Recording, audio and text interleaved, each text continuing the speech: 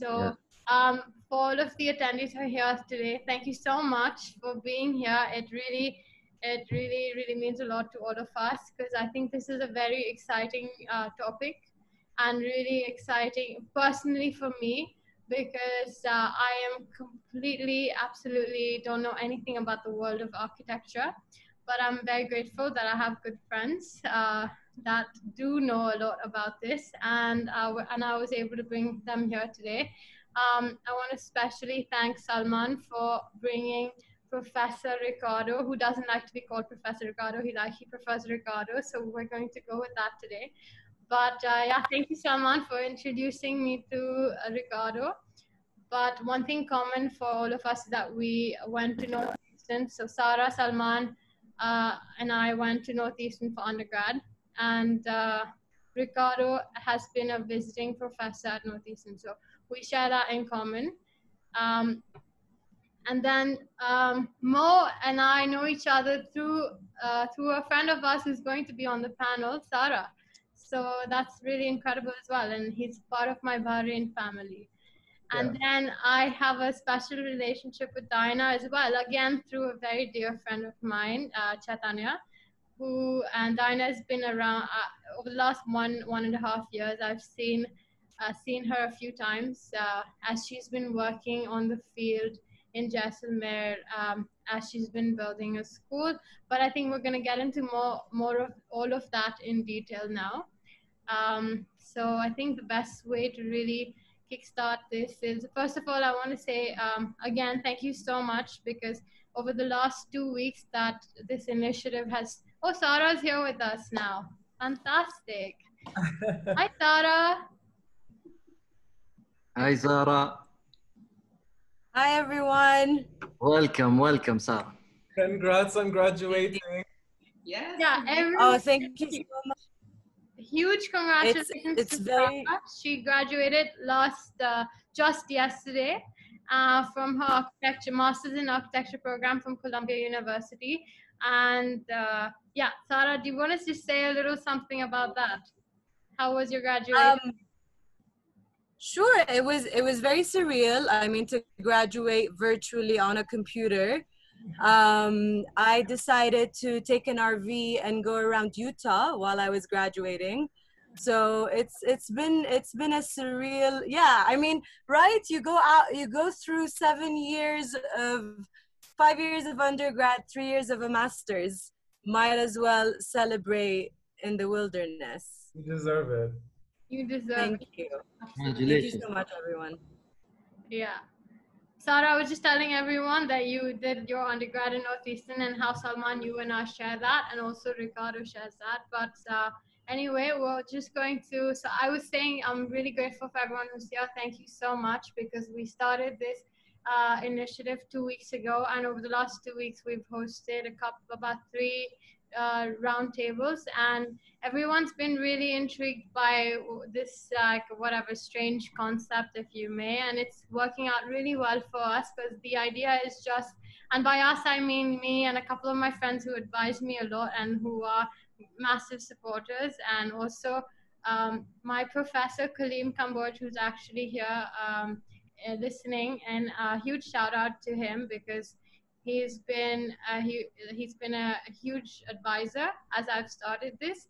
So um, it's anyway. So it's just a great. I'm I'm really grateful. I'm gonna end at that. But we're gonna start with some introductions of all of you. Um, so I think I'd like to start with Ricardo, yet again, who doesn't like to be called Professor Ricardo, but he is a professor at Northeastern University as well as Kuwait University but he's Very also a practice, practicing uh, architect uh, in Lisbon and Kuwait. Um, and he will share more about that in detail. But he received his architecture degree from the Technical University of Lisbon, um, studied at Politecnico de Milano, um, and got and also at the Harvard uh, Design uh, Harvard Design School uh, and also is at presently pursuing his uh, PhD at the University of Coimbra, Portugal. Sorry if I butchered all of those pronunciations. All good, all good, all good. Um, in the last two years, Ricardo has co-authored uh, various books, but most sp- specifically, The Modern Architect- Architecture of Kuwait, published by Niggli, and is presently working on a future publication of ACTA on the Pan-Arabian Modern Architecture, which is going to be launched this year. Um, I'm going to move on to Diana. Uh, Diana, so Diana has an interesting story. She went to Williams College for undergrad, and then also, like a couple of you, went to Columbia University to pursue her master's in architecture. And right upon graduating, she established her own firm in 1992, which today is an award winning firm that has worked primarily in high end residential projects, but has, uh, over the last few years, kind of switched focus on more nonprofit initiatives. Um, and th- that's how I met Diana for everyone who just joined in. Uh, in Jaisalmer, she's been developing, uh, she's been building a very interesting school uh, with one of my dear friends, Chaitanya. So she's going to talk more in detail about that, but uh, and, and I'll let her get to it. And then uh, my friend Salman, who I've known since freshman year of college, uh, he he and I went to Northeastern together. He pursued his bachelor's uh, bachelor's in architecture there, and then went on to uh, pursue his master's in architecture uh, with a concentration in real estate from no, uh, from New York University. Uh, Salman is currently living in New York and is also in and has recently joined uh, the related companies, which uh, uh, related design and construction team, and has been working on uh, various sustainable urban revitalization projects in growing and metropolitan cities. cities. And then there's Mo. Mo is uh, is from Bahrain, and he is an urban planner and a transportation planner who's who's been working with the Bahrain uh, uh, Urban Planning Authority. So he brings a very unique perspective into this panel tonight. But he pursued his uh, bachelor's in urban studies from the New School in New York, and then also pursued his mas- master's in science in urban planning from Columbia, uh, like a couple of the panelists. And then finally, Sara. Sara pursued her bachelor's in architecture from Northeastern and then just yesterday has graduated from Columbia University with her master's. Before this, she's worked a lot in the Middle East, and her, her previous work experiences involved in the design and development of a museum in Riyadh's Al Diriyah district, as well as um, Studio Sciattarella in Rome, Italy. So, um, and in addition to this, she's been involved in the design of various nonprofit hospitals in the African continent with a firm called AR, ARCIDC in Lisbon, Portugal. So Ricardo and Sara share that in common as well. So that's the that's that's that's our excellent panel here today. So I'm going to ask you all to share a few words or share whatever you'd like to about your philosophy of work, what, what matters to you most uh, as a part of your introduction. And um, Ricardo, we can start with you. I think that would be best. Thank you. I would like first to, to thank you, and it's of course a pleasure to be here with so many great people. Um, and uh, I think I think it's a very interesting mo- moment because this sort of uh, interactions allow to cross barriers of physical space in in in roundtables and discussions that would just play a role on a physical space. So it's it's great that we are here. It's also great this generational uh, cross. I would be more willing to hear rather than talking. Uh, I think I think at, at certain point uh, that's exactly one moment that is being very very critical and one of the main discussions at the moment, if you want me to tell just something about what's going on in Portugal, at least, at the moment, one of the big discussions is the difference between older and younger in the relation of confinement. So there has been a big discussion about uh, some sort of uh, unfairness regarding confinement among young people. Especially, we are talking about uh, people that are starting their lives. They have lower economical resources than older ones. Uh, so it's it's been a big big subject of discussion. Uh, also, uh, the relevance of younger people to energize and keep going on uh, an economy, uh, which which has been also quietly um, fragilized with this process. So I, I I think that I would I'd really like to hear what the, the younger ones in the panel have to say about your energy and your reaction to the moment because we don't want you to get lazy on the sofa and, and just watching. We want you to take action over this. Yeah. We yeah we're all i think there's so many changes happening in every industry right now and i think uh, so that's why it's very important to have these kind of discussions. So it's it's great that we're all here. But uh, Diana, do you want to go next to share a little bit about yourself? Sure. Um, I am actually the, the um, oldest here. I think I graduated from Columbia 30 years ago, which is shocking. I'm actually supposed to do a reunion call like tonight. Um, and the funny ironies is some of the things that I was thinking about my last years of Columbia, I'm now redoing in my projects. Uh, I'm doing a project in Nepal. I'm doing a, a, a school and um, I had started working on spaces that were healing, spaces that related to sacred geometries that um, kind of resonate with your deepest memories, and spaces that were more less about what what it looked like, but more about healing, more about how the visceral responses to spaces were. So, in fact, this um, this pandemic actually is creating a shift that is like almost in line with what I have been thinking and doing. And um, I, I actually, it, despite how horrible and sad it has been, I actually think that there's a lot of optimism and a lot of possibility for change and growth. And, you know, mainly to sort of uh, shift the economic disparity, I think would be one of the main things that we in my work I'm right now trying to focus on. So um, I'm trying to, and actually through the technologies in some ways with this weird world that we're in, we're making very direct connections between the communities in India and Nepal I'm working with and the communities in the United States. So hopefully that will continue. Yeah, hopefully that will. I think that, I mean, anyway. Um, Mo, Mo, would you like to go next and share a little bit about yourself as well? Sure, sure, sure. Hi, everyone. Uh, again, Val, thank you for organizing this. It's good to see old friends and meet new people. Um, I actually started as a politics major. Um, I, I, like it, I didn't know I, that. I did. I was. I'm very. I love history. I love. I'm, and I'm interested in government but the, that was honestly the most depressing two years of my life.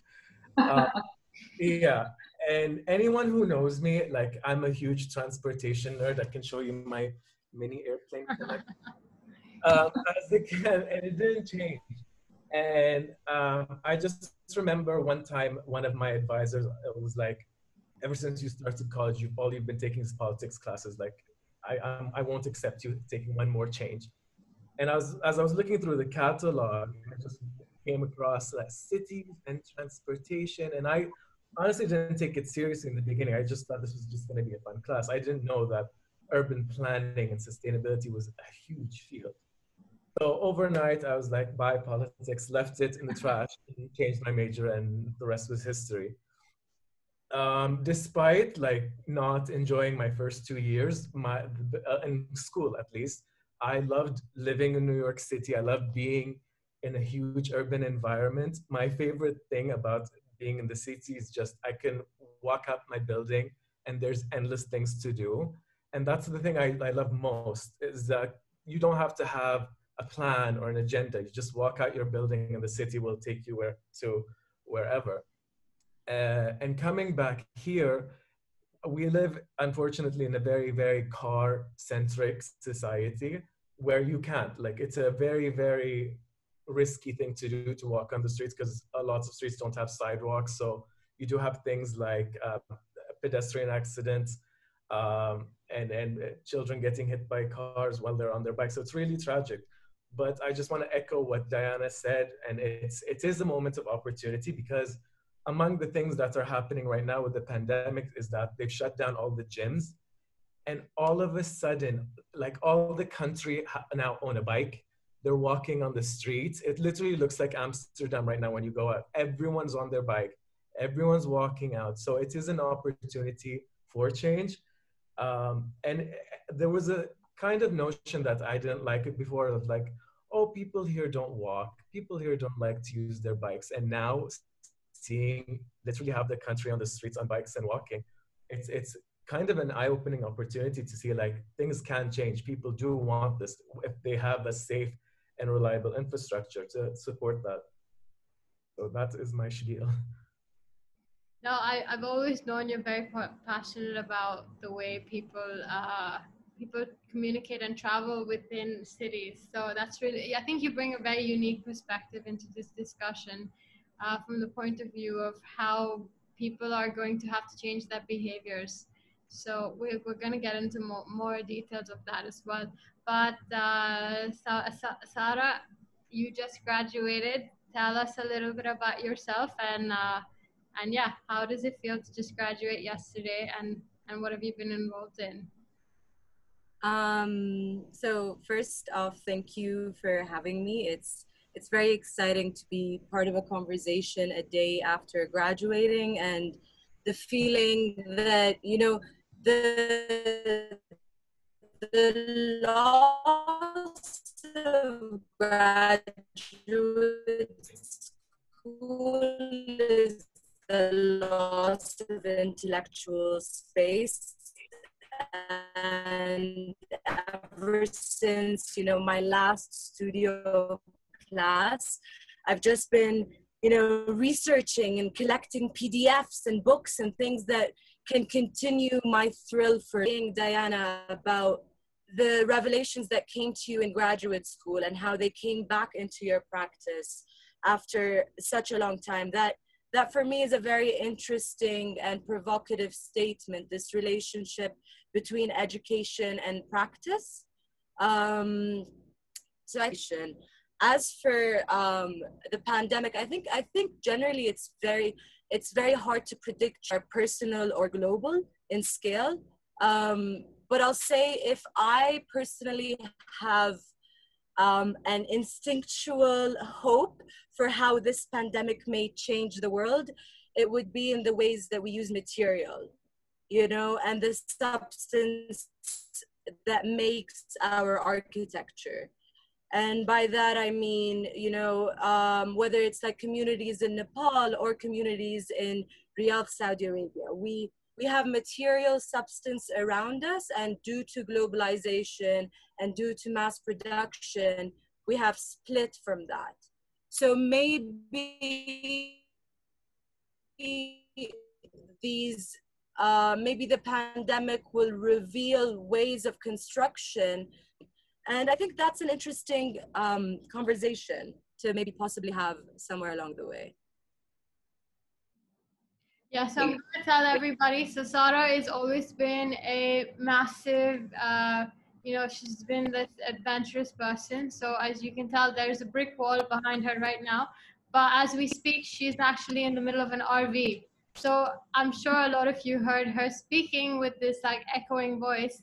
So we're just gonna we're gonna deal with that this conversation because we're very grateful that she's making it. But Sara, your voice was breaking a lot in the middle of that, but we're still so happy that you're here. And uh, I hope we, you're going to be able to show us where you're really at, but maybe we'll need that for the end. So Salman, finally, uh, I'd like for you to share a little bit about yourself and what you've been up to.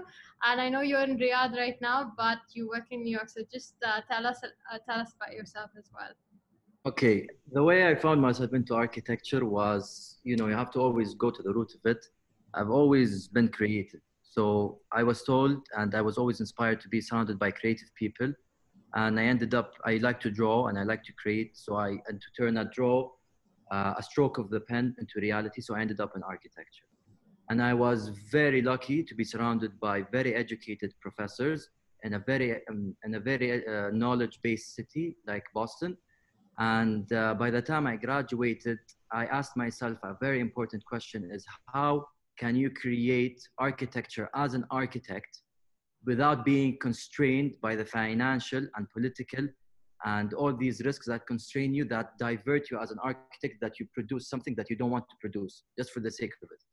So I, I, I said myself in the world that we live in we need to understand how do buildings come into reality? And these ha- this happens with real estate developers and me coming fr- from from a, like as a son of a, of a very um, very uh, strict businessman i said okay let me understand the business of architecture and buildings. So that's how i ended up doing my second master's degree in real estate development at nyu in new york.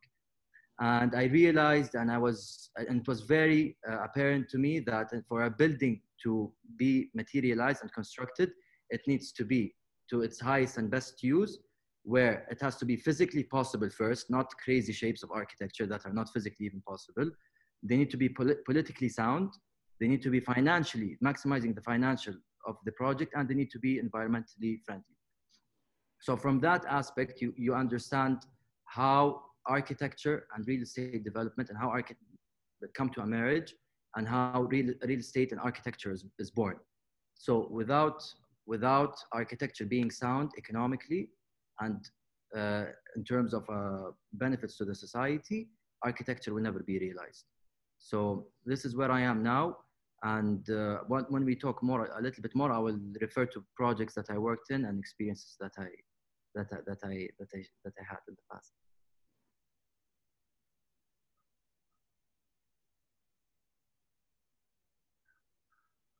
Sorry, I was muted. But yeah, um, thanks so so much, Salman, for that. Um, on on one particular note of what you said about having very excellent professors and knowledge from them, I just want to do one last shout out because I know there is there's a couple of professors who are listening to us today, and one of them is a very dear mentor of mine uh, who is a lifetime mentor from me is Mark Bernfeld, who's here listening, as well as Salman, your professor, Manish Srivastava. So we're very grateful that you've taken the time out to listen into this conversation and we'll stop there.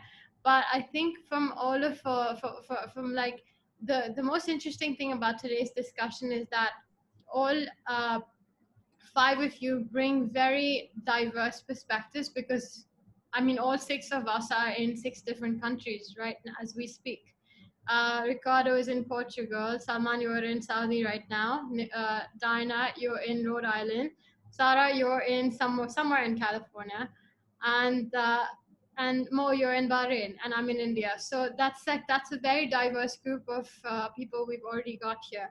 So I would love to get into various things, and I think today's conversation, yes, uh, we've spent about a half hour in the introductions itself, but we are going to dive uh, dive slightly deeply into various ways that the role of architecture is ha- is very deep in the way we interact with communities, in the way um, uh, the, the, the role of architecture in like pub, public policy, uh, the role of architecture, how in past pandemics, how architecture has really evolved the way and evolved and moved things forward. So we're gonna get into all of these things, the role of architecture in human behavior, mental health, all of these various different concepts. So uh, we're gonna get into all of that. So I'm so I just wanted everybody to know it's going to be a, a we, we'll still only be scratching the surface, but I hope we have a meaningful discussion and then and that all of us are able to learn as much as possible.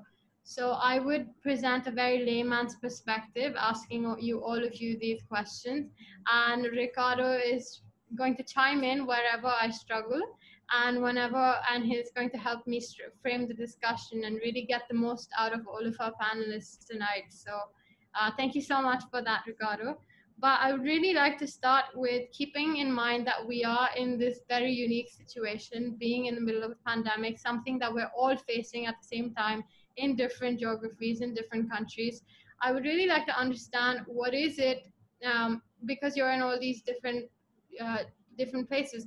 How is it that you've noticed that architecture and urban planning has changed in your present day?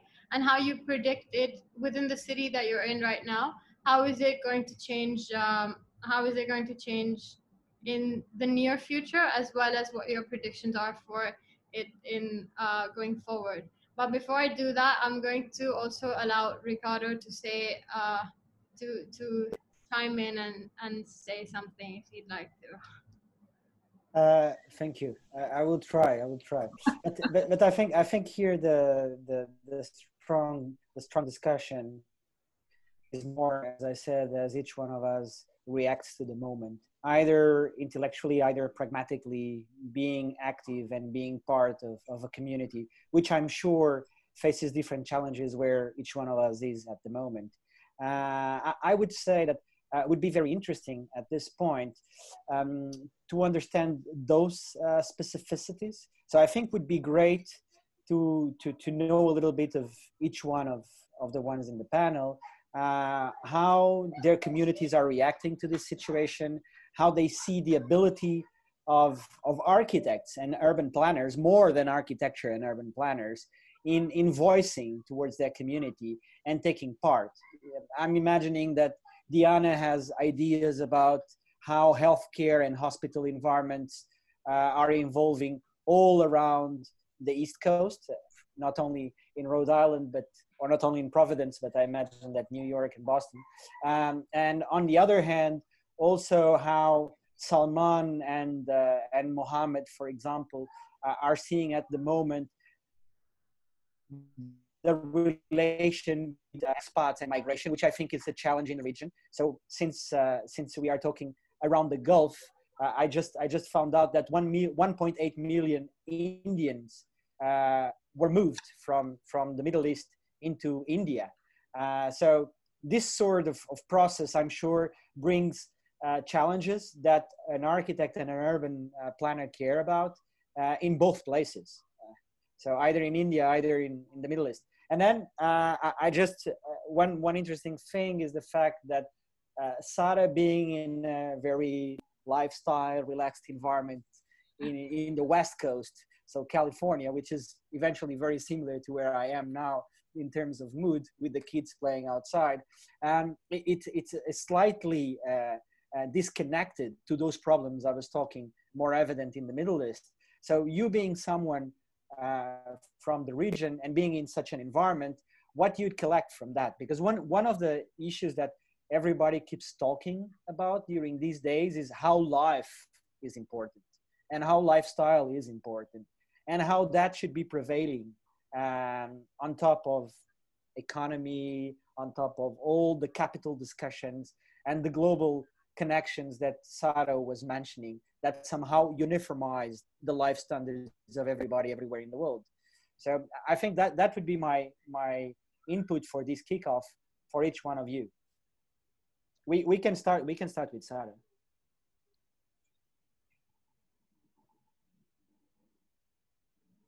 Sure.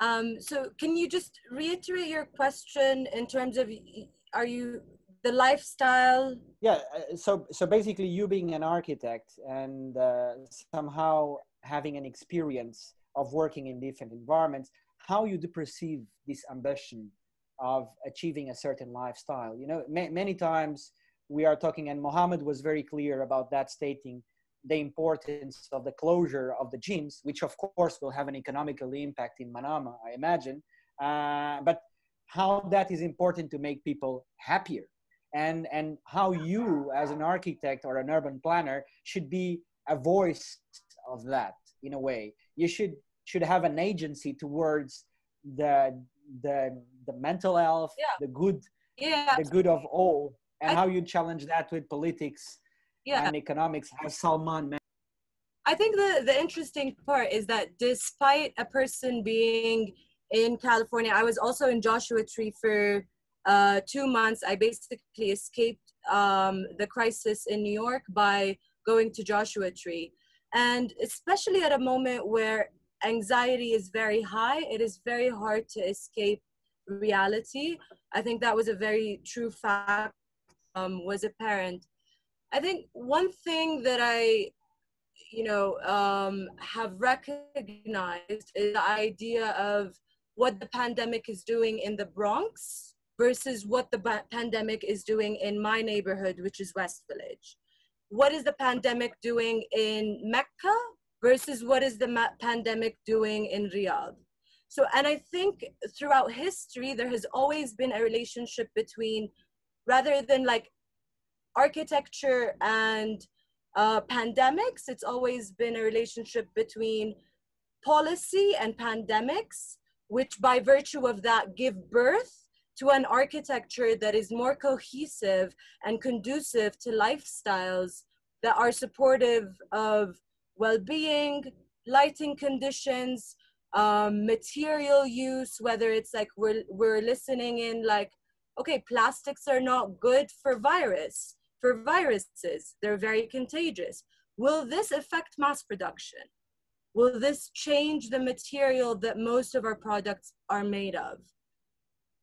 I think that, and that is birthed in policy. I think that could be an interesting space. Thank you, thank you. Mohammed, what, what would you have to complement beyond this material condition that Sara was, was referring to? Um, as you briefly mentioned, actually, about the situation here is is um, Bahrain is now what? How many active cases do we have? Um, close to four thousand. Um, that might seem a little compared to lots of big countries, but we are ranked, I think, the fifth or fourth densest country in the world right now, and that is mostly because of the migrant workers that come here, and as we see, because of the unfortunate language that comes mostly from the United States and certain politicians, there there needs to be a certain understanding of why there's the there are certain um, why cases are the way they are right now.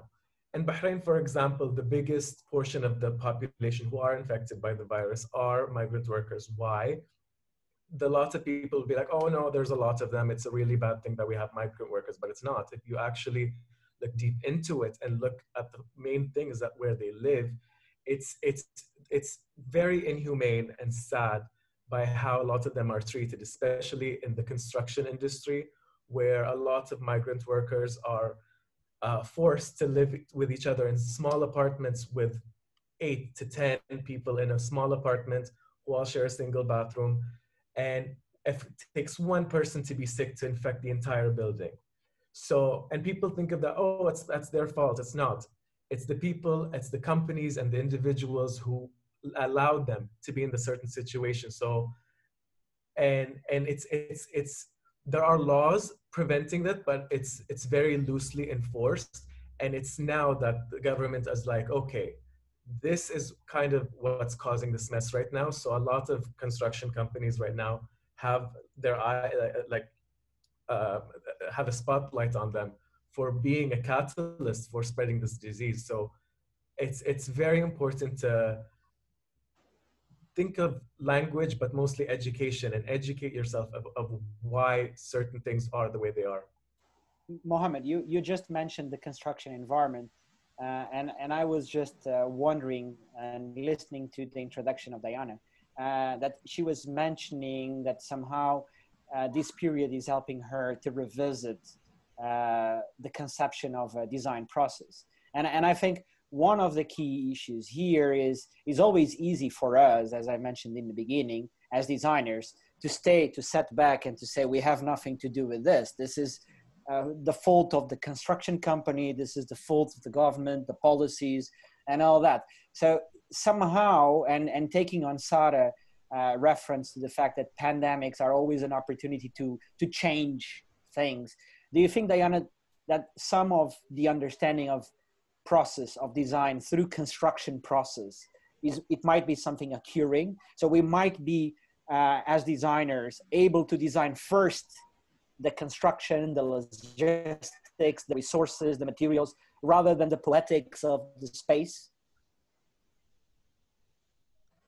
Um, I, I mean, that's a big question. So um, the, I think actually as architects, that's actually the most important thing. I think that the poetics of the space is a luxury that we have. And I think that um, one of the things that is very profound about this pandemic is that it is affecting the less fortunate. And you know, I live in New York City. I'm in Rhode Island because I, I mean, I'm in Rhode Island because I have the luxury of being able to get a second home. And it's, uh, it's the less fortunate that are actually the most impacted, like the migrant workers, and I'm following the migrant workers in India. Uh, um, and I, um, yeah, I, sorry, what was no, I, I, basically mentioned that somehow uh, many times it happens that we as designers we retain ourselves from investing on the construction process as part of our impact on a certain space on a certain community. And and all that Mohammed was talking about was somehow a frame a context where we have something to say as well as what Sara was mentioning regarding material conditions well, I mean, I think that's like the essence of actually the work that I have been doing in both India and Nepal. It's like, you know, Americans love talking about sustainability so many Americans are sort of they will they will donate to my project if it's sustainable, and it's just the most ridiculous question because I'm in Jaisalmer, India. Our materials are coming from five miles away just by necessity. I'm doing a nonprofit school. Every move I make has to be justified. Every move cannot be for some design whimsy that I have. It has to it has to have a, a function but to me, I also feel like it has to have an essence of transformation and beauty.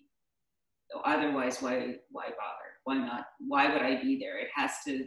I'm an architect. That's the the, the gift, whatever it is that I have, and so it has to transform from just the utility. But it, you cannot negate the importance of just really how is this going to be made and how am I going to convey to people who speak a different language, who from a different culture, how should this be made?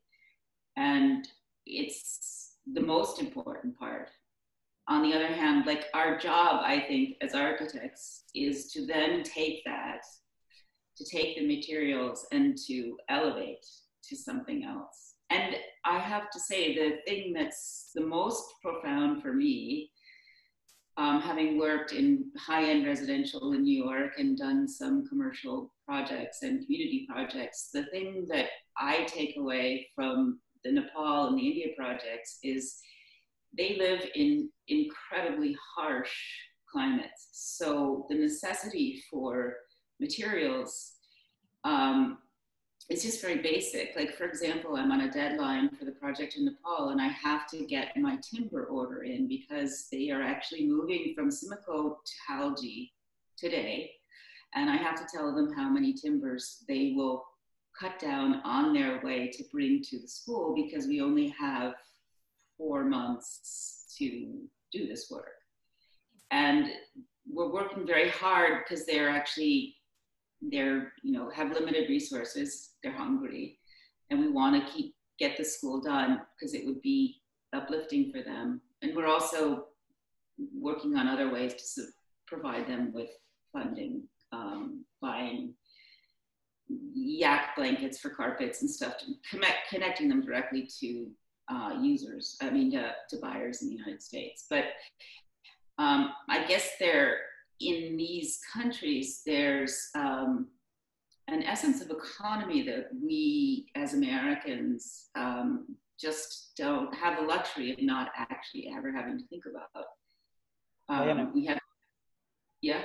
No, no, no. F- thank you. I think I think that that was exactly what uh, we were mentioning.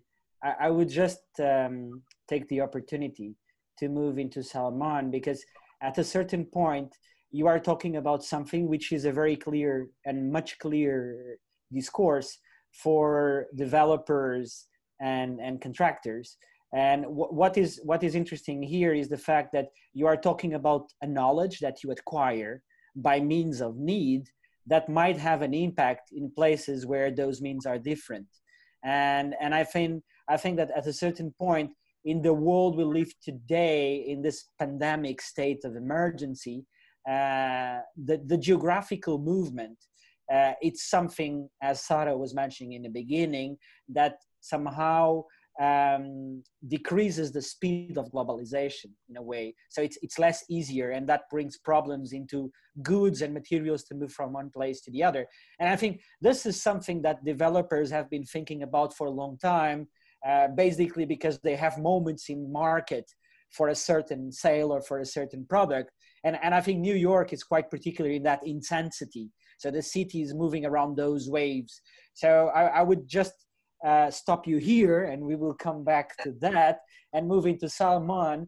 And, and basically, uh, Salman would be interesting to understand how this sort of responsibility that the real estate has in defining a new, uh, a completely new order to the construction industry might have an impact in a region where manufacturing is not being uh, the major source of investment. Uh, so the idea of diversifying an economy, is this an opportunity for Saudi Arabia, for the kingdom, as you mentioned, to diversify the economy?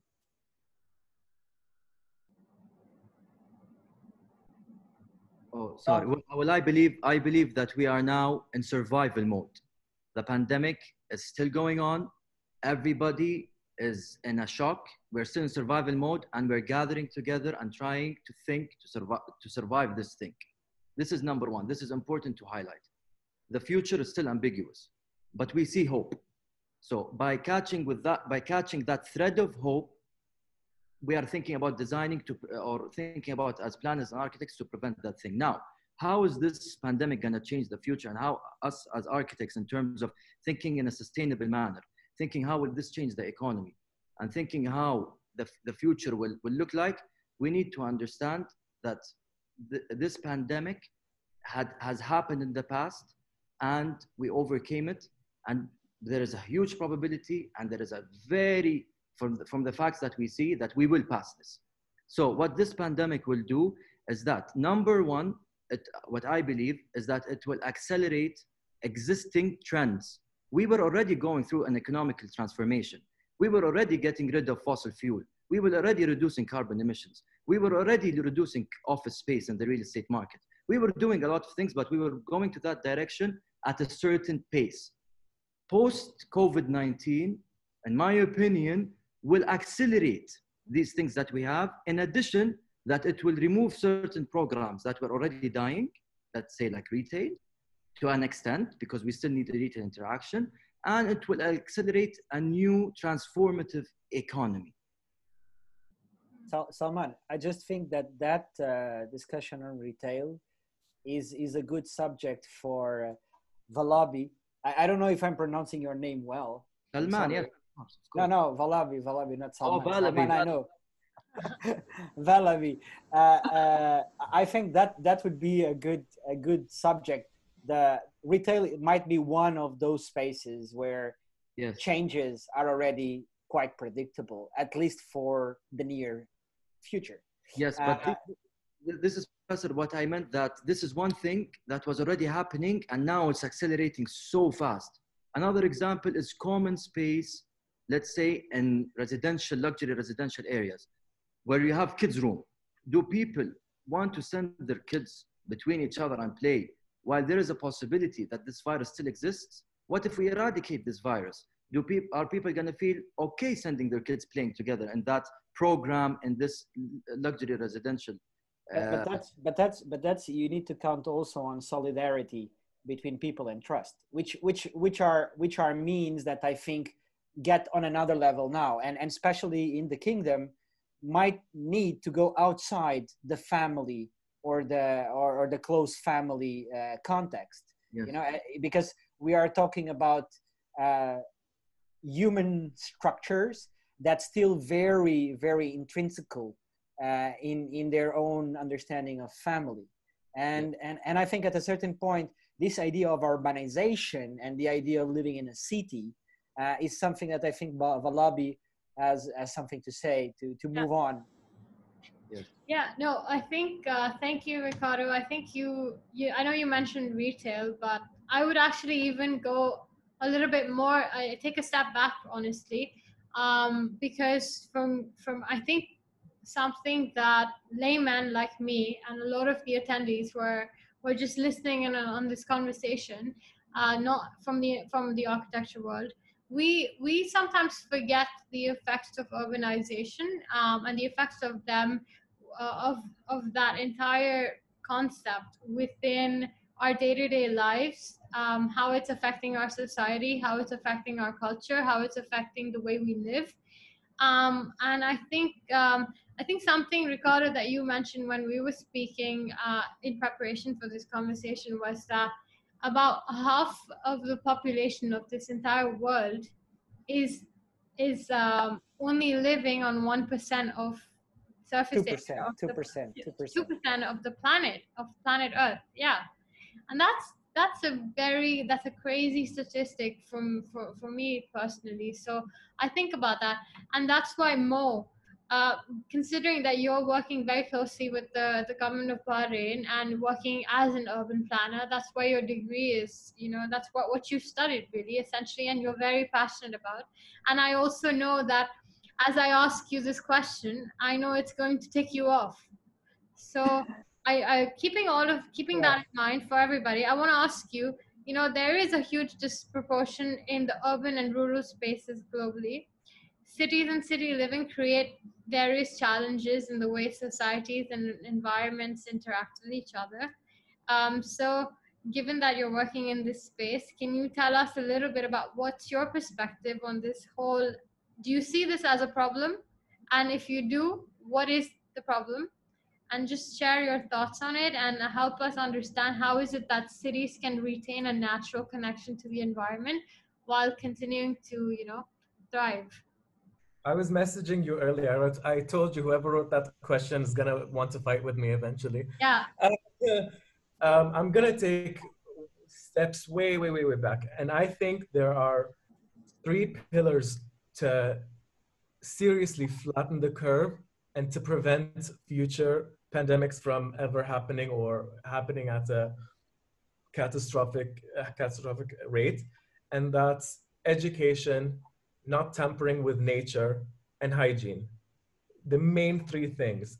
Education by means of what's the root of this? What's the serious root? Not by blaming countries or certain uh, uh, cultures. It's blaming the root cause of things and, and how can we can prevent it.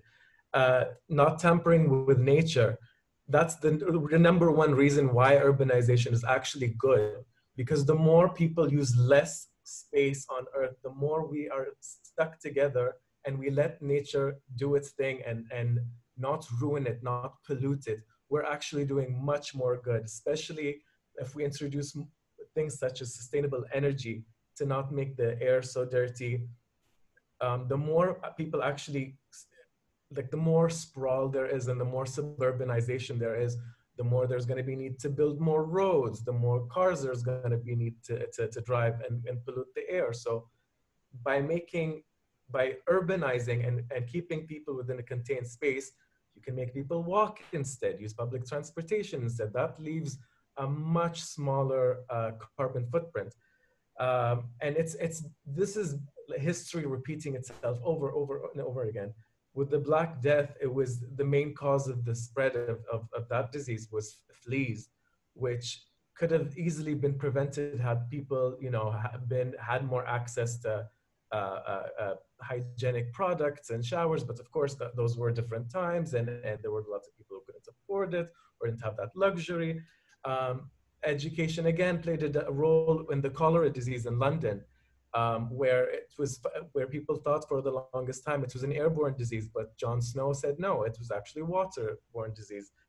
Um, and then we moved to COVID-19, which scientists are proving to be uh, have been discussing how it comes from bats. So the main three pillars keep repeating itself over and over again. So the more we come to realize that, the more cities can actually actually be a haven, an oasis for for sustainable human development. Um, no, no, I think those are really great points. I think what you really highlighted over there is that pandemics have somehow really evolved architecture forward. I think uh, ever since uh, 14th century, I was doing some research into this conversation before I, you know, I start asking you these questions, and I and I came across, you know, there was a bubonic plague in this 14th century that led to a lot of transform, transformation within the urban space. And then also there was the yellow fever uh, in the, and smallpox in the 18th uh, century that led to lots of citywide sewer systems, plumbing, disease mapping, all of these different innovations that happened. And then in the 20th century, there was the tuberculosis, Spanish flu, uh, and polio, which really led to um, the clearance of slums and the waste management systems coming into place. So there was lots of different, in, in, a, in a way, a lot of these pandemics have really shaped and evolved architecture forward. So, I mean, keeping that in mind, I think I would like to really ask, uh, I, I, would understand like, you know, the, the, one of the biggest problems that we are facing is that there is rapid, the population is increasing at a rapid level. So I think at this point, I would really like to bring you back in, Diana, and ask you, um, what is this continuous increase in the world's population and unequal distribution that's happening between geographies and between cities and countryside? Um, for, according to you, how do you really uh, tackle the problem? And what are your thoughts on this whole concept of, you know, 2% of urban and like urban urbanization and cities around 2% of the planet. Like that to me that's a very crazy concept and the thought is just uh, yeah. So i want to hear your thoughts on that. Um tell me the first part of the question? Sorry just said. I, I was I was wondering like with the increase in population affecting a lot of the ch- the, the the challenges we're facing due to urbanization and with the fact that there's only 2% like 98% of earth is not urban. So how can you navigate these changes with, um, you, you know, with how, how do you really navigate these changes when and Ricardo, would you like Valavi, to... can can I just add here something? I think this is where Diana was before I interrupted her. So because, because at a certain point, at a certain point, what Mohammed is saying, uh, of course, it has a sense but on the other hand, the big challenge is that we are not as fast as the population is growing. So we are not as fast uh, being able to produce these cities and these environments, these oases, as Mohammed said, at, at the speed population is increasing. So in places like India and Nepal, where Diana is working, the challenge is how can you bring the oases into remote areas where this sort of people are spreading or well, or where people that live outside the cities are spreading. I mean i think what mohammed said was incredibly interesting. I've lived in new york for a very long time and i think the density and i think that the street life and that interaction uh, is just you know part of the magic of why we all go to these places I think my now experience going to India, where you know I actually walk on the streets in Mumbai and Delhi, and I say to my friends that I walked there, and they're just astounded because they don't walk anywhere. It's just not. It's not comfortable, and it's just I mean, it would be a very interesting idea that while nobody's on the streets, if the, the, these cities in India or across the globe actually went out and cleaned them, because or set up sidewalks, or you know, made it so that there was that sense of of urbanism. And I and I understand the place where it comes from in India, where you had to the cities weren't safe, so you had to create walls around your spaces. But I think that that's the cities are probably safer, so that can be relaxed. Um, but I also think, just in general, having lived in New York for a long time, I actually think that people will start to move away from the cities. I think that they will. Yeah, one of the things that I keep talking to people about is like how important sort of community is and how important sort of regionalism is and how important it is for us to connect to our local food sources. And um, i mean i see it very pr- prominently in in india and it's one of the things that you know organization i'm working with is trying to facilitate is to sort of keep the craftspeople from migrating to the cities, but to actually have a place for them in their in their communities so that they don't they don't it doesn't sort of just keep these families apart. And like right now the problem in india is all of the migrant workers are there and when they are released they don't know what will happen when they go back to their cities. And so i mean on a very small very little way we're trying to create um, opportunities for the people in their region to work and to actually then sell their work either to foreign markets because um, for some reason that hasn't really happened. Yeah. Um, I, I think Diana, what you're talking about you, I, I think a lot of what you're talking about is really the role of uh, design and architecture in uh, shaping human uh, behavior be honest I, I think so because um, it's it's like somehow I, you're talking more at a grassroots level with the crafts communities Chacha, which is really interesting, and I want you to get into get more into that. Also, um, just taking a step back, at, uh, also I think design and architecture play a huge role in even all of the people who are attending this conversation and myself it, I think the way spaces are designed around us plays an impa- important role in how productive we are in affecting our mood. Um, so I would want to trans uh, sort of move our conversation into really discussing the role of architecture and how all of us as a humanity and interact with it because sometimes we forget about uh, the the massive role architecture plays. And I think my personal respect for this field has increased after conversing with Ricardo. And personally, I wish I studied, in some ways, I actually wish I studied architecture. It's like a whole, uh, it's a whole spiel of uh, like an eight year program that you have to go into. So I'm like, maybe I won't wish it for myself, but I really envy all of you who've really gone into the, you know, the studies of all of this because it's fascinating I find it fascinating. I can't speak for everybody else, but so yeah. So I really want to um, talk about that, really, how it's affecting human behavior per se.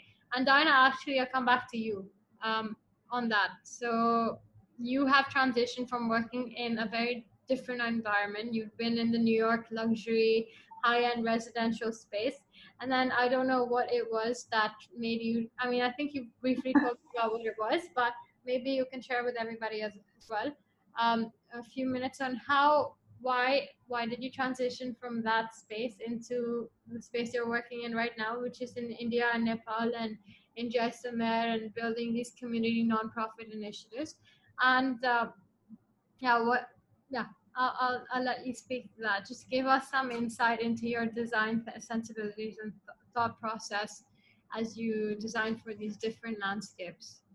Um, it's I think in some ways it was sort of like everything it sort of just happened and I actually had reached a saturation point with the high end residential and so I took a course on social economic and environmental design which didn't lead to much but um, then I met the, the head of this organization who is brilliant, Michael Daube from CITTA, and he does these projects. And um, I just realized that as architects, we have a gift that we can share with the world.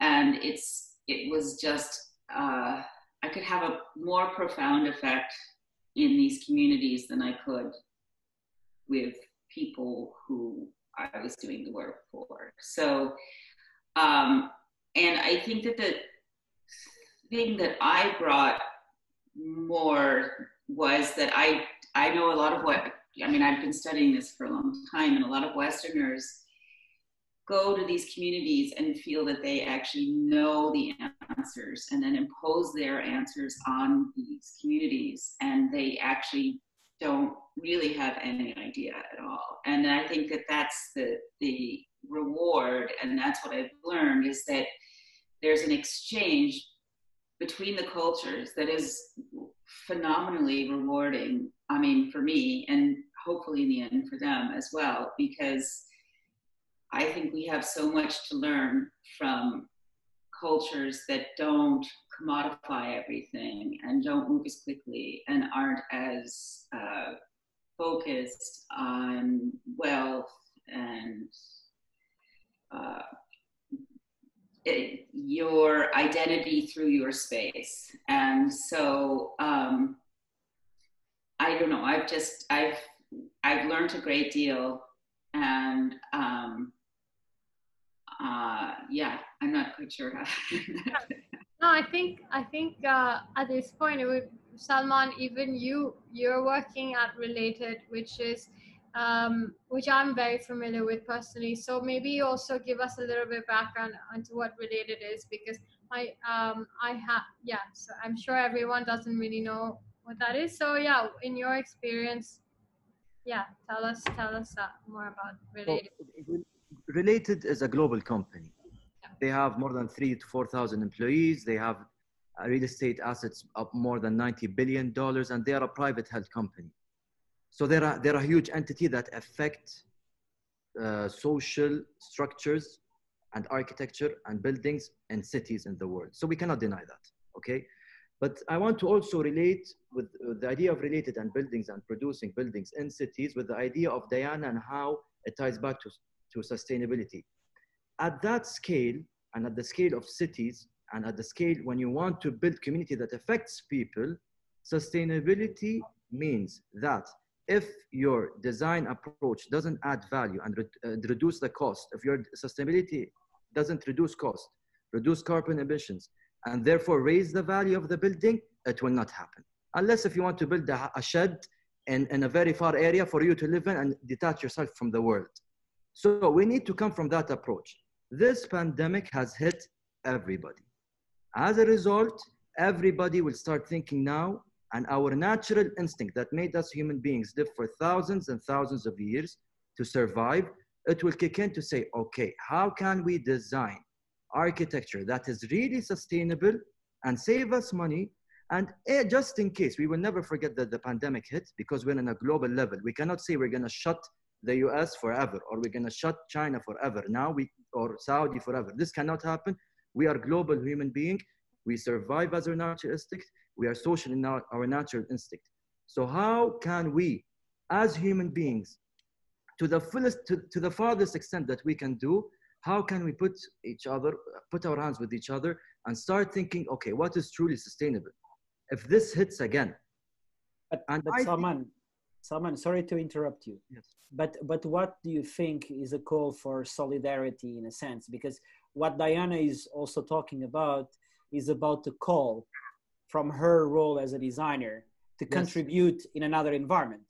That, and I think, and I think that goes into what you were saying yes. and, and somehow it, it stays beyond the idea of economical sustainability so we are talking about community and social sustainability which goes back to the idea of the city as a oasis that mohammed was talking about mm. in a way which which is again a very critical subject specifically in the region where you guys are coming from in the middle east yes i think i think diana from the way she from the way like the introduction that i know and what I read about her and the way she talked about sustainability, she's a true person that cares about building a sustainable uh, environment that will help one another.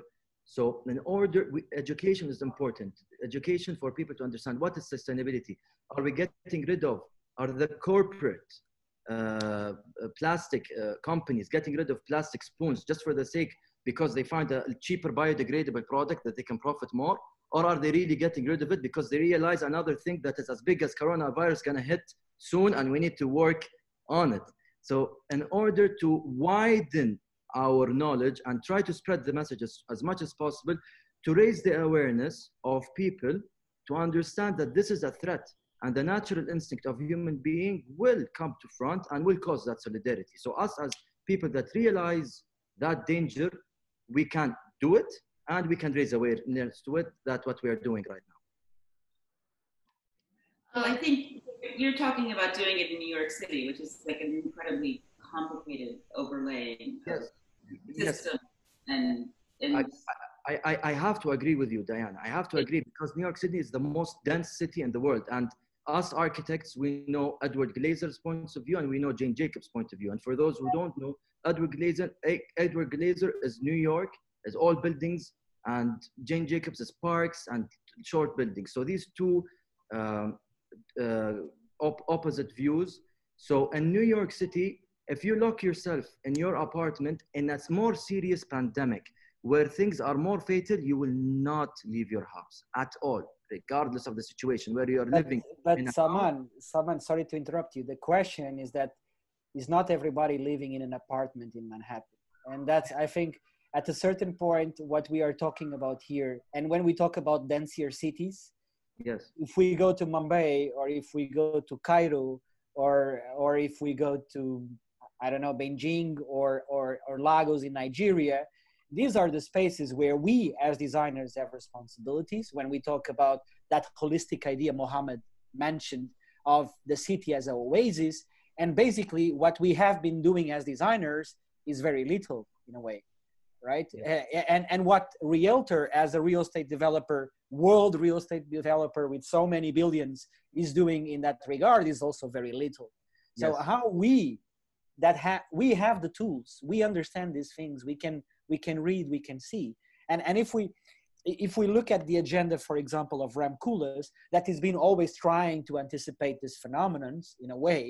So even now in this discussion of the countryside, the future, which is now on display at the Guggenheim in, in New York, uh, again, the subject of is the countryside really a future to solve all this idea of a sustainable community? Even Koolhaas went to Lagos, Nigeria, and on the face of Lagos, he's not able to publish a book, he's not able to produce knowledge. And I think the big task here is how can we respond to that? Because what I think is happening with the pandemics is the opposite. Europe is not Europe is not bringing money to Africa anymore. Uh, people are not looking at Gaza. You know, it's exactly the opposite.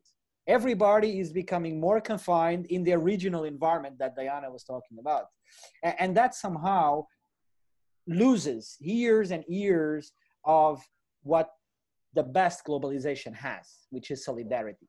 Yes.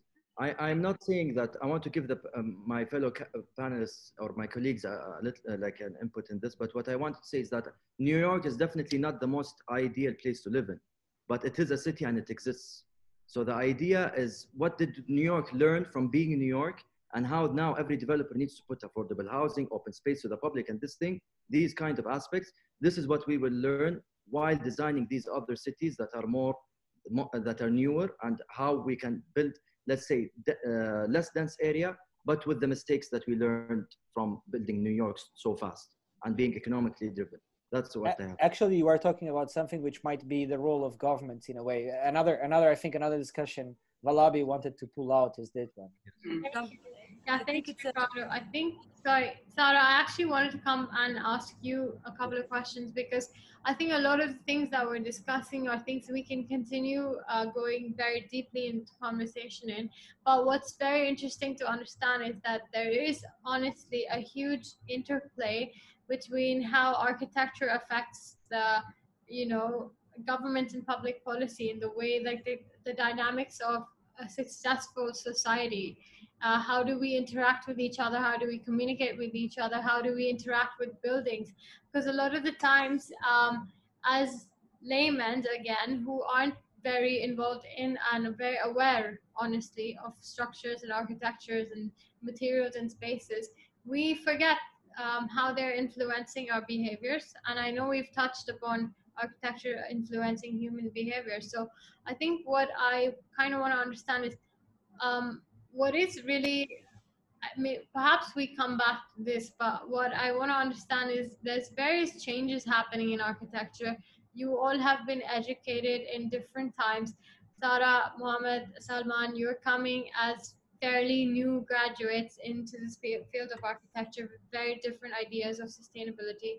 And Diana and Ricardo, you have perhaps slightly different ideas of the way you've been educated in uh, uh, maybe a couple of decades ago. So what I really want to um, understand is, um, from from from my point of view, I think architecture plays a huge role in how we start to shape uh, future societies in the most sustainable way. How climate change can be tackled, because that's one of the biggest problems of before this pandemic happened. That was something that was being developed, uh, discussed at the World Economic Forum in Davos. That's something that's being discussed all over the world with the millennial generation that we we are a part of, right? So, um, so I guess going back to my specific um, question is Sara, with your uh, with you graduating just pretty much yesterday, what is it that you noticed in your recent discussions in terms of how architecture is going to change and adapt to this, you know, the pandemic, the society, uh, move away? We have talked a little bit about urbanization, but like what is really the most sustainable way of moving forward? How is it that architecture can play a role in the government in shaping societies?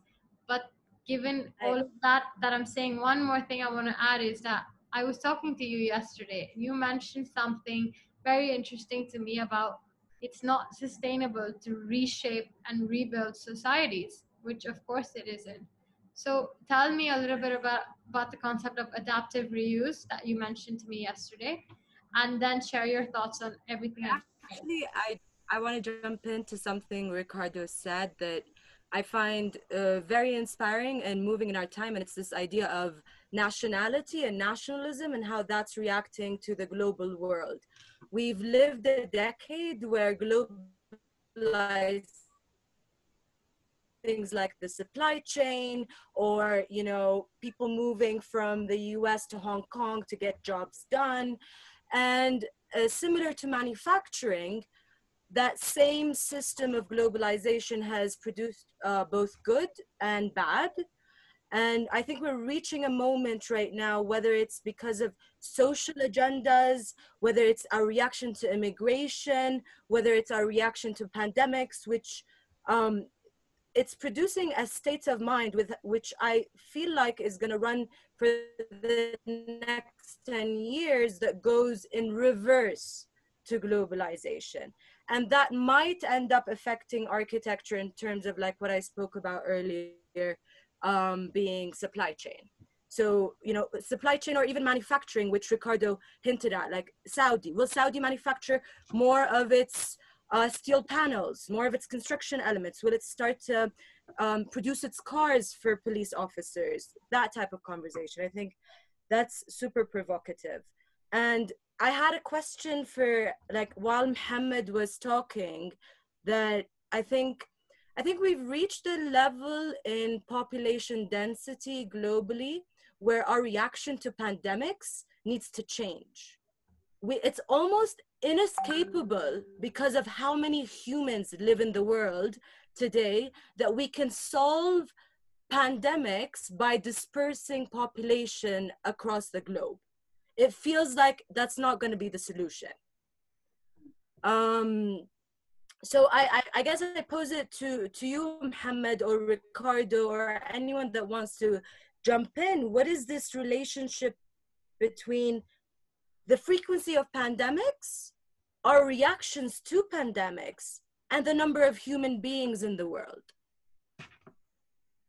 Um, again, to what I was talking about with my with my pillars and stuff, um, and I think Ricardo touched on it, uh, or I think I don't know if it was Diana or Ricardo. I think no, Diana. Sorry, who was like, uh, you know, washing some streets and stuff. This this is not something you know unheard of before or or or like too far fetched because you see something um, for example 100 years ago when the 1918 pandemic happened new york city was actually at the forefront of having one of the least amount of victims only because the city just kept clean they kept the citizens informed better and people just reacted to it with with more awareness as opposed to cities like St. Louis or Philadelphia in 1918, which had the highest amounts of uh, victims of, of the 1918 flu.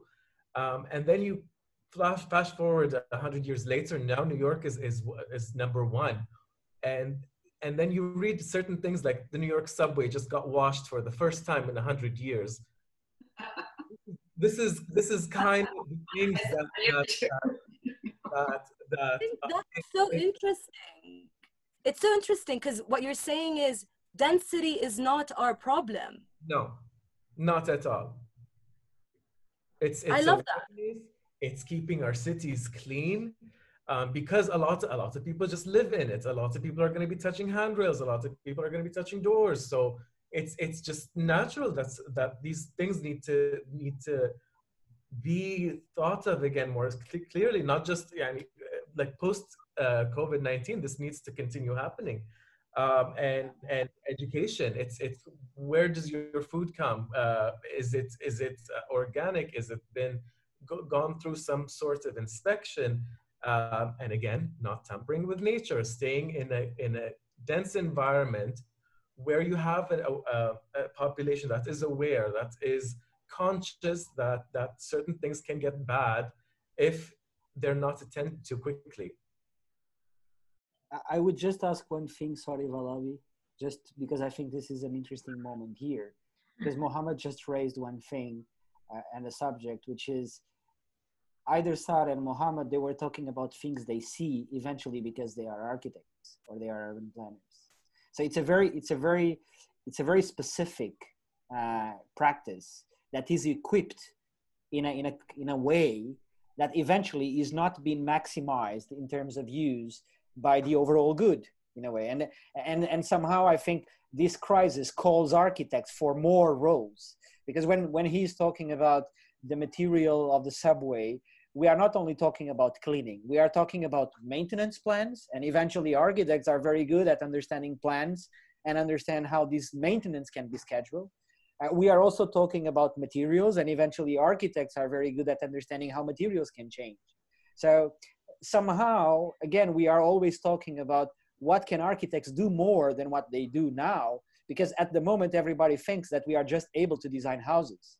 And i think this is what is inspiring in what diana was talking about and and also on on what somehow valabi uh, teased salman with which is somehow to understand what can be the contribution of, of an architect's mindset in all this idea of a capital driven world of real estate and I, I, I would like to hear more salman on that if if i, I want if I want to say something. I love Mohammed's shirt because it's a message. and it says the war on cars. To reduce carbon emission and we live in a less uh, less let's say unsustainable environment. I specifically chose to wear what i'm wearing now which is the saudi which is the saudi dress for the men for a reason. Because i'm in saudi arabia and we wear we wore it in the past for a reason which is it reduces the uh, the uh, the heat of the sun which is uh, aware, being aware of the environment, and ventilation to, to control and comfort the body temperature. Now, we are all faced with coronavirus. Us, what we can do, but with what we wear and with the messages that we do in order to prevent a such case to happen again or to make uh, it less severe, number one, for example, I, I think that there will be a lot of uh, things that we don't necessarily need to touch, they will be eliminated. Whoever said that we need to touch the elevator button every time we touch? Because we know already, we know the nature of the, this thing, that it doesn't spread, it spreads by touching and it, it spreads by air. So, or from the air droplets if you're close to someone. So we will always be able to stay six away, like far from each other. And we can always also try to reduce the touch points. Like when you walk into a building, are, are, do you have to touch the door of the, everybody need to open the building with the door or is it an easy fix to have an auto, uh, automatic door? But This- but Salman, you know that because you are a designer, and every time you are selecting or specifying an elevator or a door, you think about those things. And this this was my point. Eventually, Yes. the people that just use it, and talking now about human behavior that Valabi mentioned before, they, they just use it. They don't question. But you are the one who knows that. Professor, now when they use it, they use it with their elbows because they're aware of the virus. So there are situations that we as human beings intuitively start doing and designers are gonna are gonna uh, implement it in their designs. You, like there are infrastructure, design infrastructure uh, that that not is only infrastructure in the sense of transportation, but rather in a sense of every single detail around you is going to be trauma as a result of COVID-19 trauma, the trauma of COVID-19. I think, sorry to interrupt you. I, I just think that this is a good way for Valabi take us to the last point, which is getting inside buildings. Because I, I think we have been around buildings, we are all architects, and uh, Valabi wanted to make a challenge to all of us. Yeah, no. and I think this is exactly, Salman, you took us exactly to the right point. Since we are opening the door, let's go in. I am so grateful that you're here with me, Ricardo, because I am a person who struggles to interrupt people. And yes, there is an agenda that I am. I'm sorry. Right? I'm sorry. I'm very, no, I'm very I, bad I at that. Please don't be, don't, don't apologize because if you hadn't done that, I, I would, I can hear Salman speak for hours, you know? So, but that's not efficient for everybody who's listening in on this conversation. So, so I guess, yeah, thank you for that. But uh, Salman, based on everything that you said, and yeah it's true. I've heard you speak before and like i'm enamored by all of the things that he speaks about with a passion he speaks about architecture in general. So it's amazing. But i really wanted to discuss a couple of things today and we have touched on a lot of those. But things that we haven't talked about uh, that i would like to talk about are the role of technology in architecture and i will get into that. But also you know if we have time you know the application of all of these various concepts that we are discussing right now, what is the practical application of it in the concept of um, buildings at the moment that are most relevant for all of us, which are hospitals and perhaps spiritual and religious spaces. So those are the two areas that uh, before we really conclude our argument, like our discussion, I want to get into that. So talking about technology, I think I want to, I, I have noticed technology has affected all of the industries across the board.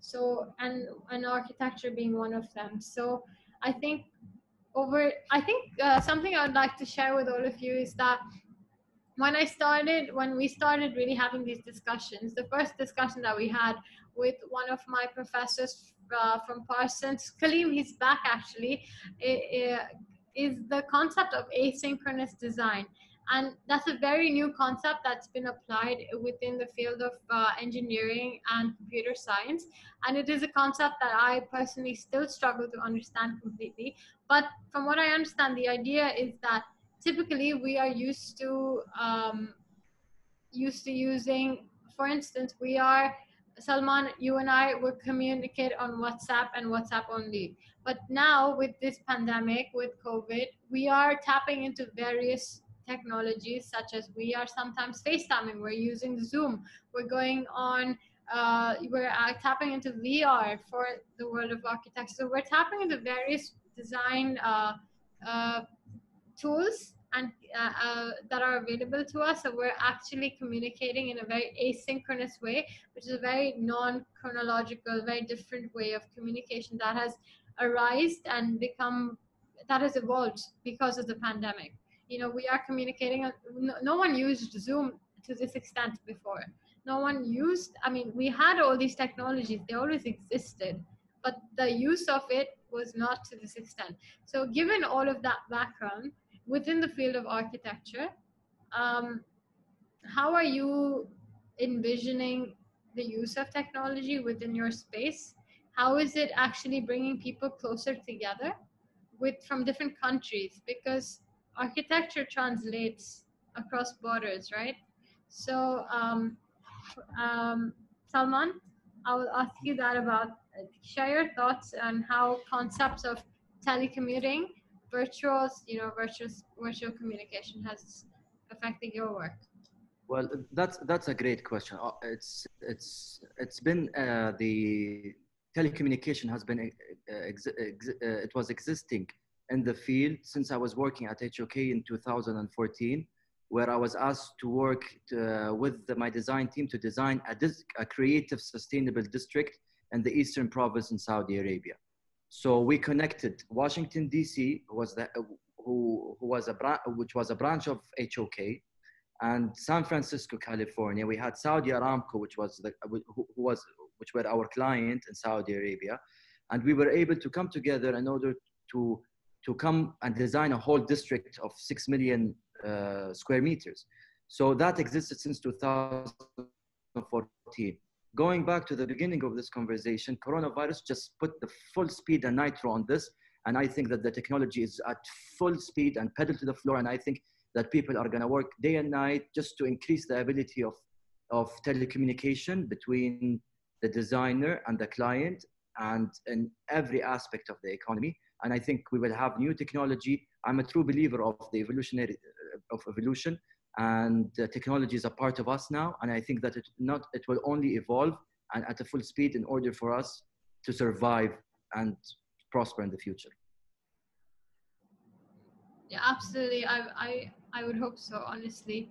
But that you know Diana and Sara Sara because you just graduated I want to know from your point of view that what is it that in last few weeks or last couple of months you noticed that Columbia was talking a lot about the use of technology and collaboration.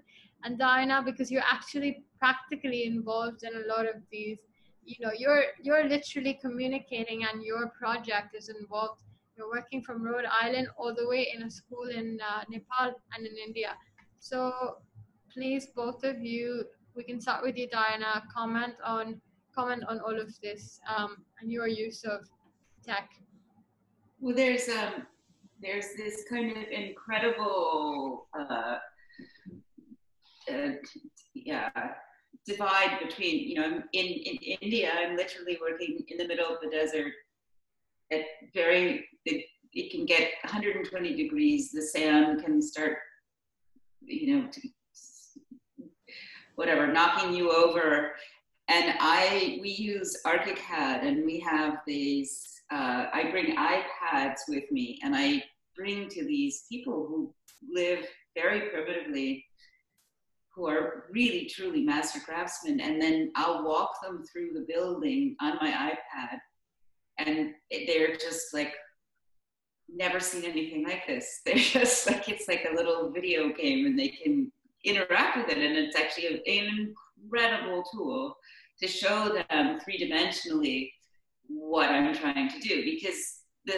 problem in a lot of these you know, it, it, it, happens in the United States, it happens everywhere, but is the translation of a drawing to the actual built environment is, is one of our biggest challenges and is sort of an impossibility. So that's been really amazing and to sort of see their delight in like, you know, you virtually move through the space and here you are, you know, we're 30 miles from the city, which is even a very remote, primitive, not primitive, but city.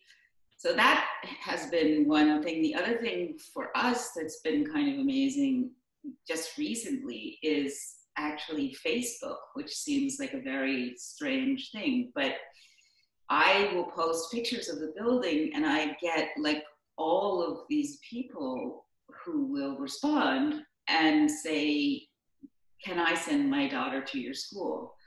Do you have anyone who will buy this wedding vestment for us? Like it's a very direct connection that is because of technology and because there's a that's been broken down and so they feel comfortable. I mean some of the questions are a little off but like comfortable actually interacting and we've as a result we've started signing up hundreds of girls and hundreds of women for the women's center. And um, that's been uh, i mean a completely unexpected yeah. um, development i mean we actually thought chaitanya was going to be able to be getting these people i think you're actually like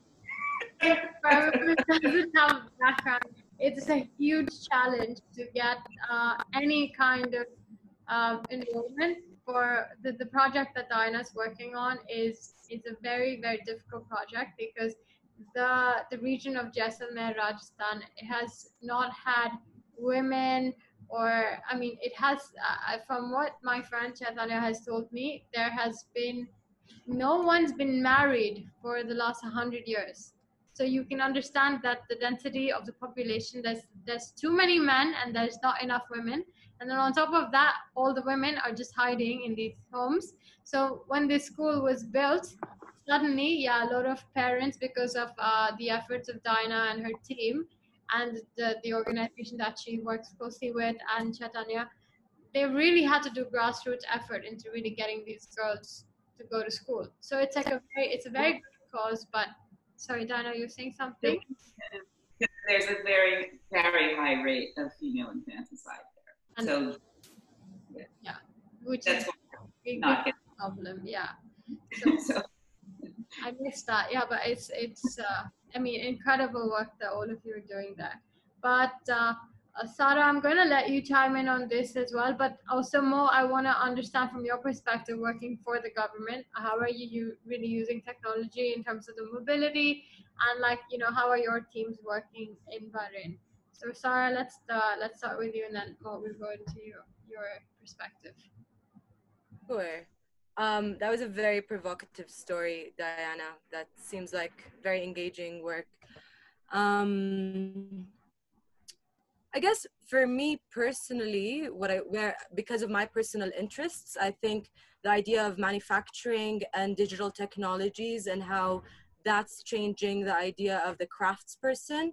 I think the architect is also moving into the factory in the sense architects are craftspeople. The only issue is is that we've been separated due to digital technologies like AutoCAD from the act of construction.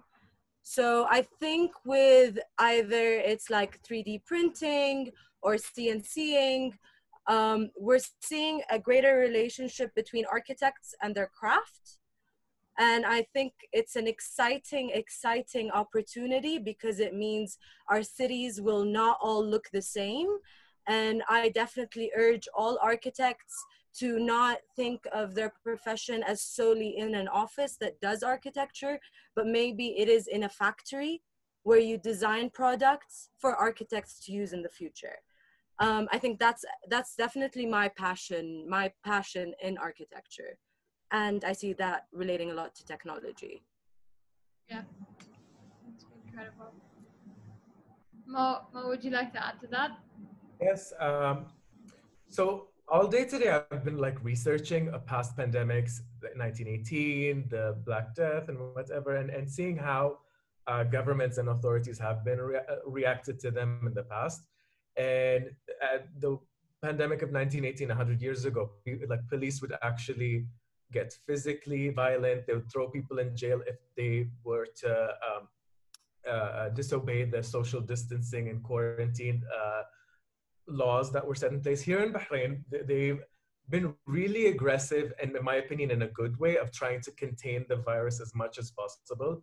The government launched an app that you put in your ID and your address, and it will it, it will alert you if someone around you has been tested positive. If you ask this question for someone in the more very liberal part in the US, they'll see this as an invasion of privacy. I personally think it's a good thing. It like it's I, I want to know. Like if, if someone close to me is positive, like I want to know. Um, an even more extreme measure is is uh, a lot of uh, the first cases how it got to Bahrain was through uh, from people flying in from abroad. So uh, I think a few weeks ago they started giving anyone who comes in from the airport some sort of a plastic tracker that they need to keep on them for two weeks so that they know that the person does not leave the, their house. So they're enforcing uh, um, social distancing and quarantining very hard, which in my opinion is really helping uh, isolate the, and contain the, the virus.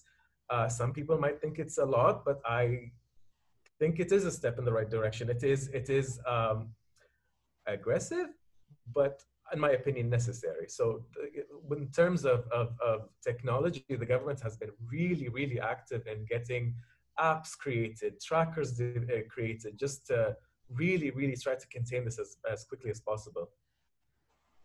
Right. I think I think I think was was very provocative the way how how everyone was tackling the subject uh, I, I, think at a, at a certain extent, uh, we should try to wrap up the discussion. Yeah. Uh, we have been here for one hour and, a, and 40 minutes. Uh, I think uh, would be would be really interesting and eventually taking the lead on this idea of of the impact on building, which which somehow we already uh, quite discussed without getting exactly inside. But I think would be would be very interesting just in a last round of questions, if Valavi allows me to, uh, to know a little bit more of what Diana thinks the impact of many of the issues we discussed, not properly the pandemics, but many of the issues from material condition to uh, tracking that Mohammed mentioned, to this this idea of somehow a certain relation with the capital and the territory that Salman was mentioning. How do you think this will affect healthcare? Uh, somehow distribution all over the territory. Uh, this idea of smaller, bigger hospitals, smaller clinics, larger hospitals. I think this has been an issue, for example, in New York during these days, as well as, for example, in, in Texas, where I just heard that many of the small hospitals were not able to have ventilators. So, and for that, they were not able to respond to the pandemics, for example. And this, this actually goes back to Mohammed's claims of, of, of a city, of a proper city, uh, being well equipped, uh, and this idea of efficiency. Uh, on, on the other hand, I think would be also interesting to understand from, from Salman uh, this, uh, especially how religious spaces or practices might evolve. And, and, and this is something that is exactly at the center of real estate move in Saudi Arabia. Real estate has been much more liberal, let's say, in Saudi Arabia when we talk about Mecca uh, and Medina than anything else. And I think there will be a change to, to learn about and to know where the real estate sector will move and how we'll deal with, with religion in a way. Uh, the same thing I would say to, to Mohammed that, that somehow uh, the, the relation with the mosque and, and, and a little bit going back to this human behavior, the habits and traditions, right? So how do you basically live in a city with a certain routine of prayers and, and how that somehow has an impact on the, on the city dynamics. And, and finally, I would go back to Sara and understand and, and touch on this idea of the architect moving inside the, the fabrication industry and, and how somehow spaces like hospitals and, and healthcare spaces that require this sort of hygienization can be uh, typologies for exploration uh, of this sort of new notion of, of block or unit that could be fabricated. This, this has been always something in and out. How can you build a building made out of components that are somehow modular, that are pre-made, and how that sort of product making that Sara was talking about in factory can become space making, right? So how you can evolve from the product developer into a module, so modular construction developer in the factory. And, and eventually we can start by Diana and then go on the order that I mentioned. Okay, that was a lot, but um, I would have to agree with Mohammed very much that the um, the mindset that I've seen in India, because I've been following that very closely, and the mindset in the United States are just completely different. You know, we're so offended by anybody following our movements, and it's and it's it's a concept that we need to move forward with. We need to get over. Like it has to.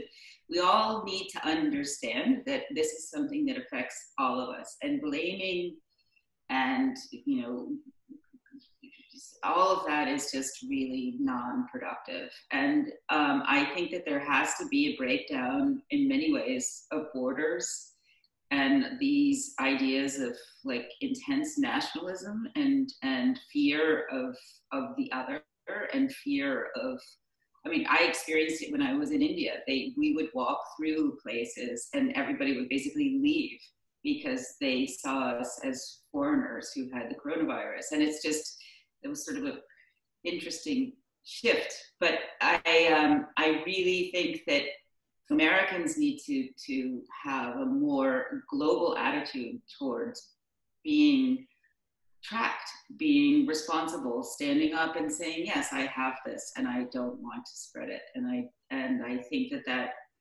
if there's some way that we could come together, the global leaders come together in a more powerful way, I think that that would help. And then the, you know, the, the to me, the biggest problem is this income distribution, which is, is disparity rather, that is so profound. And it's, the coronavirus has affected the less fortunate in, in such a more profound way than, than is necessary. And the people who have, it's so easy for those of us in these developed countries to give so little that would make huge shifts.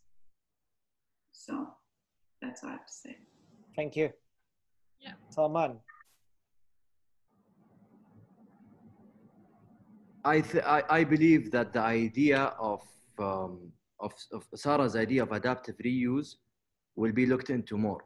Okay, when you're designing a certain program of architecture or building, how can it be served if a certain pan- if this pandemic hits again, or if anything, how can it serve for a different purpose? This is number one. Number two, what are the products that Sara also mentioned that architects can think can enable these type of buildings to succeed and for these type of buildings to be functional. For example, I think that combines both. My twin brother, Sultan, he did his master's research to create drone tower distribution center. So are we gonna be needing a drone tower distribution center in the future that distributes packages for in case we cannot leave our house whatsoever with a mask, without mask, and the pandemic is so strong that, okay, can we receive our food without human interaction? So these type of questions can, let's say the Olympics is coming up. But, Can- but tell me one thing, tell me one thing, Salman. In Mecca, where somehow your stronger beliefs, you know, at a certain point, your religious integrity is higher than anything we are here discussing.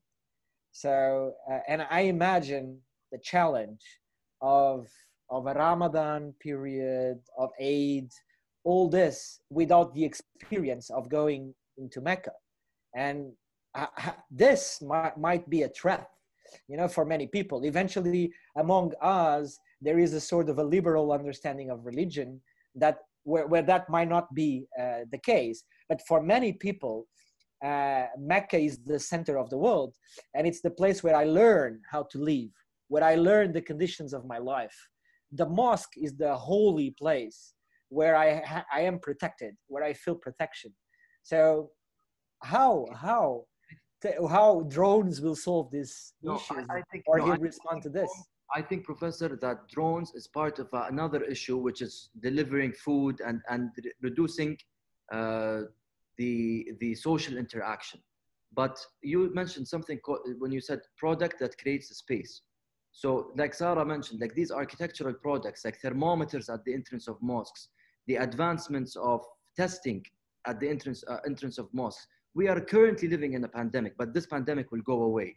But people will need reassurance if the mosque has a, or Mecca or any mosque has a thermal uh, thermostat at the door of the mosque and testing, let's say, for the region around it, people will feel more comfortable to enter when, or more comfortable to to re uh, to to re-enter these these areas. So, so you agree with Mohammed that somehow technology should be perceived as a way to innate trust among each other. Exactly, yes. So this is exactly present. In the future, this, the virus will not be there. But how can we create product and a product and infrastructure that, in case a more serious virus comes, that might be a true threat to humanity and our existence on this planet, if it's more fatal and more, let's say this is already a, very contagious, how, do we have the infrastructure as the drone tower to distribute the food? If we, if we were able to sure, sure, sure. How can you anticipate that? But Yeah. but I think I think here would be interesting, Mohammed, if you can tell us more about how these will affect routines and especially those routines that affect your your life standards, your quotidian. Uh, to answer that, I have to call something Diana said very early on, which kind of shook me, which is the sh- the reshifting of how people think about cities and how people might actually not want to be in cities anymore. Which for an urban planner, that's a nightmare scenario. Uh, it's it's when I think of what, what what what that means is I immediately think of of big cities in the states in the late 50s and 60s when cars just started becoming popular and people you know, ran to the suburbs and cities just literally started to decay. And for a lot of cities, true, that could happen, but by means of having necessary infrastructure, at the top of that right now are hospitals. And not to pick on the US, but I'm going to pick on the US. And that's, and that's the main problem right now that they're facing is um, the, the lack of having enough hospitals. No one has healthcare. Uh, uh, uh, you have nurses and doctors quitting left and right because they just don't have the proper equipment and safety gear. And that's incredibly sad where you see as here, for example, not to say that I live in heaven or anything, but, but, but it's just, it's, it's the way nurses are being taken care of, the way doctors are being taken care of. You have the government providing them with the, you know, temporary housing just so they can be temporarily isolated from their own families so that they don't, they don't spread the virus. Their personal debts are being taken care of. They're, they're really being um, put on a pedestal because they deserve it. And, and it's, it's, it's, it's uh, their jobs to take care of people. And it's, it's, it's rethinking um, to include more of these kind of infrastructure because without them, then I, then I absolutely agree. No one will want to live in a city where there's not enough hospitals or schools or, or if, the, if the air isn't clean enough. So there is kind of like that shift happening, uh, depending whether the, it's a, on the good side or bad side. It's, it's rethinking where you live uh, um, and the infrastructure around you, which is very scary and interesting at the same time. So everybody wants to run away from religious questions. I think we can, we should go to Sara and then and then Valavi Valavi should wrap up the meeting. I'll let you I'll let you say some final thoughts before I can chime in. I think the religious question is very funny because also in the US there was apparently some church somewhere refused to acknowledge that coronavirus was happening and they continued their sermons and then I think seven cases came out of one one day of celebration. Um, I think it's it's a it's a complex question to talk about the idea of collective space and how pandemics may influence them, because essentially religious space is collective space. Um, I don't think we will ever, as social hu- humans, move away from collective space. We'll just find ways to mitigate our interaction with them. Um, but as to like your question about uh, modularity and construction elements, uh, obviously we've seen Javits Center in New York and how the use of hospital beds and inflatable corridors and whatever um, have proven positive. I think my personal take on modularity is this idea that, you know, in many ways, architects have pushed for modularity in construction, especially in housing units but still have not ingrained themselves in the production of them. It's like, I guess I'm reiterating myself again. Um, my issue with modularity is its sense of uniformity. And I think that is due to its distance from the act of design. Um, so I think if there is a reconnection between the act of design and the act of creating these large structural modules um, use. One thing I did a research, I mean, big, big, a, a lot of my, a lot of my interest is really construction and modularity and, and this, but one of them was motorhomes. Motorhomes are an insane opportunity for architects that we're just like completely disregarding. You know, it's like these spaces is a form of living, but then you see people like Warren Buffett taking advantage of these motorhomes and creating really crappy designs. So um, yeah, that would be my two two cents. Well, Sara, I think uh, I missed you a little bit over there in, in, in the end, but I think, um, you know, before I even end, Ricardo, I'm going to let you just say, say a few words and then I'll finally try to wrap this entire discussion up which has almost been close to two hours. So thank you for bringing that up. But let you say some final words and anyone else who wants to. Um, and then we're going to wrap up. I think I already talked too much and, and already cut a lot, cut a lot, cut a lot on Salman's. I would give my minutes to Salman, uh, and and uh, and I would. Uh, I think I think it's it's it's. We touched on many subjects. I think your uh, structure of Valabi was very ambitious. We were going into many areas of, of discussion, and I understand that's that's something typical from someone that is not within the field so not being an architect, you thought that we could talk in a very simple way about all this range of things, which Absolutely. which architects are not able to. And I think one of the I would just uh, finalize saying that one of the problems we have as architects on being more involved on everything else on being more requested by others is trying to synthesize, trying to be more able to communicate. We are very complex in the way we communicate everything. So for the world to value our ideas and the way we see the world, we need to be better at doing that. And being better at doing that is being able to produce data, being able to rationalize issues that for others are simpler than what we think. So,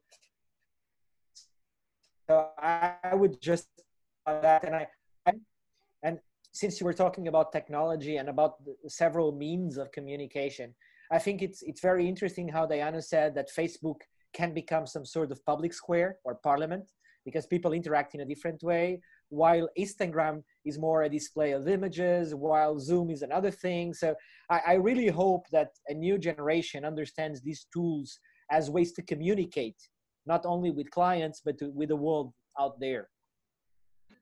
Yeah. Uh, well ricardo i think yes i'm going to own up to it uh, coming from a completely outsider perspective and all of you uh, bring very unique perspectives into this entire discussion. You know, Sara, with your thoughts on like all, all the various concepts you really brought to our attention that I, I can speak for everybody we do not understand. You know, uh, and more your concept of urbanization, your experience working with the Bahrain government, Diana, your experiences within India, Nepal, India. I mean, like from luxury to non-profit and like you know Salman also your experience that related and then all of these concepts honestly are just blowing my mind away. And yes I will honestly yeah I it's true that I think I had a very ambitious plan of discussing various topics today. And surely we've yet again only scratched the surface because this has happened in the previous roundtables uh, with with me as well that we've only been able to scratch the surface of a lot of these different concepts. I think we, uh, the intention was also to, to get into um, some ideas of the, con- that there's a city in India, Chandigarh, which Ricardo and I talked very deeply about, uh, Professor Kaleem and I have talked about uh, about so many times, and it's a very interesting concept that I really wanted to talk about within this roundtable, but we never got to it. I wanted to talk a lot a lot more deeply about the concept of tele- telecommunicating with all of you guys. We didn't get to that, so there's a lot of things that we did not get to. But the idea is that for for me, it was an interesting. Um, you know understanding to just kind of hear your thoughts what you're passionate about what are the things that are happening in the world of architecture. And like for all of us to really understand that architecture really plays a huge role in how we interact with each other how we communicate with each other it also plays a huge role in how our cultures are built over tens and tens 20 30 years you know.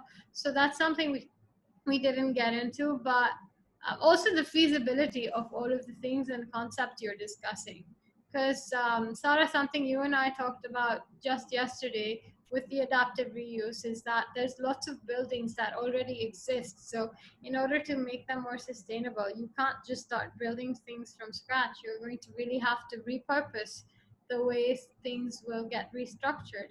So all of the, so you know, the feasibility of that from a financial perspective, um, from a cultural perspective, so there's a lot more to be discussed. Um, so I guess what I'm trying to say is that we have scratched the surface of lots of different topics.